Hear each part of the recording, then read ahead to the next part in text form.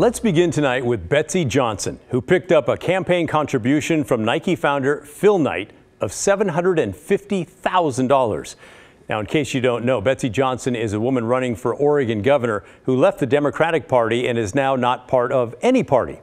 Some of you think that makes her an independent, but that's actually not technically correct. Independent is a political party in Oregon, and she is not a member of it.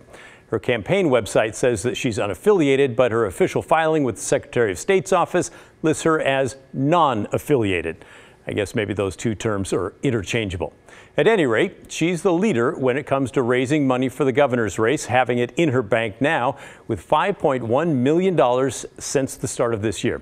Democrat Tina Kotek comes in second at the moment with 1.2 million, and Republican Christine Drazan has 1.1 million dollars. But back to Betsy Johnson. Phil Knight has now donated a total of a million dollars to her campaign. I had a chance to talk with Republican strategist Rebecca Tweed this afternoon. She's run several campaigns, including some in which Knight has donated. I asked her what a big contribution like this means in her world. Phil Knight's donation of a million dollars total sends a signal that he's really invested in this campaign, right? And uh, Mr. Knight's been well known for supporting moderate, reasonable candidates um, across both parties at times. And I think it shows that, you know, Senator Johnson has a real shot to make this a competitive campaign. Uh, he takes his contributions very seriously um, and puts a lot of thought behind them. And, and so it's a serious message, I think, particularly to her opponents, that, you know, this is a real campaign. Now, on the topic of finances, I asked why candidates or their campaigns need to raise so much darn money. Particularly in a statewide campaign, the ability to reach voters to get the name recognition you need, it costs money, right? I mean, politics is marketing at its finest. We see it for all sorts of products that we buy, and, and campaigns are no different. You cannot replicate, even with the best grassroots organization, all the best operatives, all the social media, you cannot replicate the ability to purchase name recognition through mailers, through television ads. So that's why it's so expensive and why campaigns are always looking out for money. It's the fuel that drives their ship. Now, as our strategist there mentioned, Phil Knight has an extensive history of giving money to governor candidates in Oregon from all different parties. In 2010, he gave $400,000 to Republican Chris Dudley's campaign. Dudley lost that race to Democrat John Kitzhaber. In 2014, Knight switched sides and gave $250,000 to Kitzhaber's reelection campaign, which he won. In 2018, Knight backed Republican Knute Buehler, who was trying to unseat Governor Kate Brown. He dumped a bunch of money into that race, $2.5 million. Buehler ended up losing. This year, he's given Johnson $1 million so far. So we'll be watching to see if he gives her any more like he did with Buehler. Now, if you're staring at all those huge dollar figures asking, why is there so much money in Oregon politics? Well, the reason is because our state does not have any campaign contribution limits, although we have gotten closer to passing some in recent years.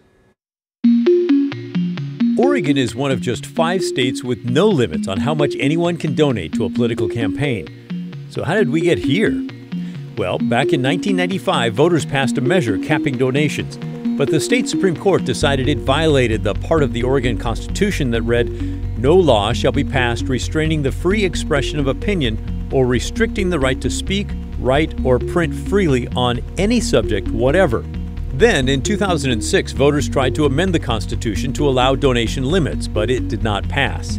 In 2016, Multnomah County voters passed their own version of campaign finance reform, capping donations for candidates just in the county. That was challenged in court. In 2020, the state Supreme Court ruled those limits were, quote, not facially invalid, meaning not automatically unconstitutional. But state officials determined that the ruling did not mean those limits should be automatically put in place either. That same year, voters approved a constitutional amendment allowing new laws that would limit campaign contributions, in 2021, a judge ruled Multnomah County could start enforcing $500 limits for individual donors in local elections. This year, a few groups tried to get contribution limits for statewide races on the ballot. But Secretary of State Shemia Fagan disqualified the proposed initiatives on a technicality. She said the measures did not include the entire text of the state law they wanted to change, which is a rule, but it's also been ignored in the past for other ballot initiatives. And that is how we got here. Okay, let's talk about this for a moment. Perhaps I could share my opinion on this. Political campaigns for top offices like governor, as we've heard, are big money events in Oregon, and they're getting bigger all the time. The Oregonian newspaper reports that in 2010, the race for governor cost around $18 million. Just eight years later, the race between Kate Brown and Knute Buehler cost 37 million. Now, I have to admit, that is good news for TV stations like ours. The campaigns know that you watch the news because you care about your community and you vote. So they advertise a lot during the big campaigns. You're seeing some on our air now. You're going to see more in the weeks ahead. But I'm not so sure it's good for voters or for the state in general. After all, who's pouring all that money into the races? Well, as we see today, Nike founder Phil Knight likes to donate in a way that most of us cannot do, and there's other big names as well. He's just the best known. He might be able to argue he's trying to just even the scales to counter the huge amounts of money that Oregon's unions typically spend helping Democrats get elected. Or maybe he's trying to help the University of Oregon, or Nike, or maybe he just wants a moderate elected governor. But I digress. So, who loses in the race to bring in and spend more campaign money? Well, you do. Let me ask you something. If there's an issue the governor can help with, who do you think has the best chance of influencing that?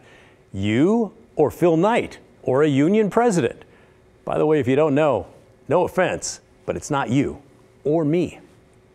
Writing big checks to politicians, of course, does not guarantee they'll do what you want, but it does guarantee a conversation about the issue probably before that check is ever written during the campaign. And it puts them far ahead of the typical voter who might make a small donation or maybe nothing and gets little or no access to the politician once they're elected. That's why good government groups like Honest Elections Oregon drew up three initiatives for voters, hoping to get them on the ballot this fall. They would limit the amount of money that a union or a corporation or a person or a third party group can give to a candidate but you will likely not vote on any of those this fall. Why not? Well, because Secretary of State Shemia Fagan rejected the ballot measures on that technicality. She argued they were written in a way that did not strictly follow the law. And Fagan said that since she took office in January of 2021, she has consistently rejected any initiative that does not strictly follow the law. During her campaign, Fagan did speak out about limits on campaign contributions.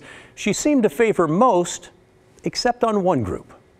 When we talk about campaign contribution limits, one thing that we should be watch out for is giant corporations and the wealthy who've been rigging the system for years. Now that they see it on the horizon, they only want bilateral disarmament. But the grassroots organizations that have spent decades building up little PACs based on little contributions the right wing playbook wants them to also be extremely limited. I do oppose limits on small donor PACs. When we pick what the limits are going to be, those PACs that don't take more than that amount per year should be able to give an unlimited amount. Now, let me think. Hmm, under her plan, I wonder who would still qualify. Oh, oh, maybe it's the unions that supported her run for office. Yes, yes, yes. They get their contributions in relatively small amounts from lots of their members. So, under the secretary's idea, they could be given unlimited amounts to campaigns like hers. By the way, the Oregonian newspaper, which editorialized and wrote about this as well, noted that Fagan donors spent more than $3 million on her campaign in 2020, and that was three times the amount her Republican opponent spent. So, where does that leave us? I'm afraid it's business as usual. The polls show you voters want campaign finance reform. The actions show the politicians do not. A gatekeeper who benefited from the current system will not allow it to be voted on this year. And I think that's too bad. It's hard to see how that decision, even if it is the letter of the law, comes anywhere close to enforcing the spirit of the law, which is to allow us voters to make changes to our system of government when it's needed. Eventually, the people will be heard. And by then, the politicians may not like what they have to say.